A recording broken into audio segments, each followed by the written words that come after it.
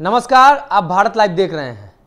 JDU में आज पूरे दिन मंथन चला। यूँ कहें तो ये लंबा मंथन था। सुबह के 11 बजे से शाम के साढ़े चार, पाँच बजे तक लगातार मंथन चला, जिसके बाद ये तय हो पाया कि जेडीयू का अगला अध्यक्ष कौन होगा। लेकिन इसके पहले ही खबर आ गई थी, सूत्रों के हवाले से कुछ खबरें आई थी, जिसमें हमने भी आपको बताया था कि जेडीयू के नए अध्यक्ष ललन सिंह बन सकते हैं और ललन सिंह बने भी।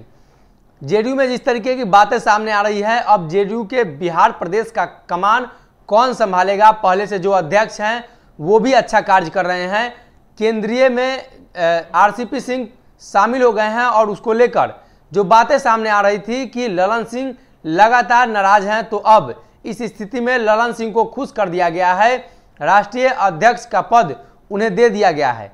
लेकिन अब जेडीयू में जिस तरीके की बातें निकलकर सामने आ रही थी कि जेडीयू में अंतरकलह हो सकता है, ऐसी स्थिति बन सकती है तो हमने आपको इस खबर के बारे में बताया था कि जेडीयू में कुशवाहा समर्थक अब लगातार नाराज़ चल रहे हैं। हम बात उपेंद्र कुशवाहा की कर रहे हैं, जिनको नीतीश कुमार ने कुछ शर्तों के आधार पर अपने पार्टी में शामिल कराया था और आरएलएसपी का विलय कराया था।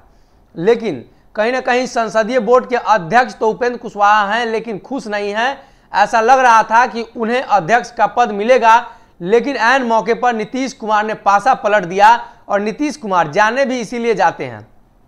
वो अचानक से कोई फैसला ले लेते हैं और उस फैसले से सभी को आश्चर्यचकित कर देते हैं।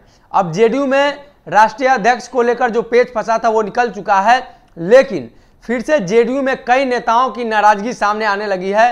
कई लोग सोशल मीडिया पे लगातार लिख रहे हैं, उपेंद्र कुशवाहा को नहीं बनाए जाने से कई लोग खासा नाराज़ भी हैं। हालाँकि उपेंद्र कुशवाहा इस मामले को लेकर भी खुद को आगे नहीं बता रहे थे। अब ट्वीट के माध्यम से उन्होंने कुछ बातें रखी हैं। आपको बता दें कि उपेंद्र कुशवाहा को ये आशा था कि वो जेडीयू के नए अध्यक्ष बन जाएँगे। उन्हें भी जेडीयू के अध्यक्ष बनने का मौका मिलेगा। अब जब नहीं बने हैं तो उनका दर्द छलक रहा है। सीधे तौर पर यूँ कहें तो उन्होंने ट्वीट करके और फेसबुक के माध्यम से अपने दर्द को बयां किया है। उन्होंने लिखा है, पार्टी के पुराने साथी, लोकसभा सांसद श्री राजीव रंजन सिंह उर्फ़ ललन सिंह को राष्ट्रीय अध्यक्ष चुने जाने पर हार्दिक बधाई। आशा ही नहीं, बल्कि पूर्ण विश्वास है कि आपके नेतृत्व में जेडीयू नई ऊंचाई को जल्द छुएगा।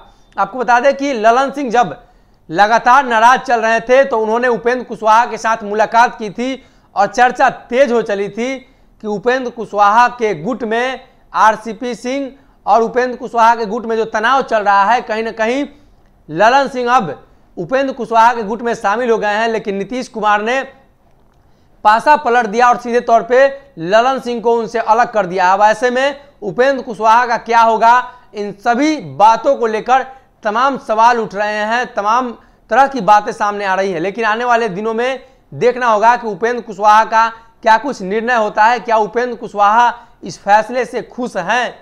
अब जब वो मीडिया के सामने मुखापित होंगे तो उनसे ये सवाल किया जाना लाजमी है। बने रहिए भारत लाइव के साथ। बहुत बहुत धन्यवाद।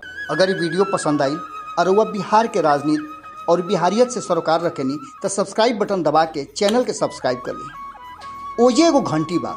ओकरा बटन दबा देला से कुल सटीक और मारक खबर रुआ मुफ़्त में मिल जाई। अगर रुआ पत्रकारिता के हमनी के नया प्रयोग में सहयोग कर चाहतनी तो ज्वाइन बटन दबा दी। पेटीएम नंबर नोट कर ली nine three eight six eight one six seven double zero. धन्यवाद।